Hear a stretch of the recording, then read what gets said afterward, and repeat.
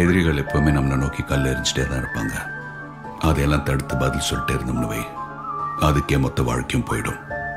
தடுக்கிறதுக்கு பதிலா அந்த கல்லெல்லாம் கேட்ச் பிடிச்சி ஒரு கோட்டை கட்டி அதுக்கு மேல கால் மேல காலை போட்டு கம்பீரமா உட்காந்து கீழே பார்த்தோம்னு வை.